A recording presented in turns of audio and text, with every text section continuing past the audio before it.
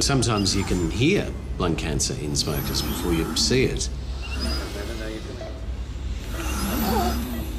There's a whistling noise. It's the air racing around a lung cancer, almost completely blocking an airway. By the time most lung cancers are discovered, it's already too late to operate.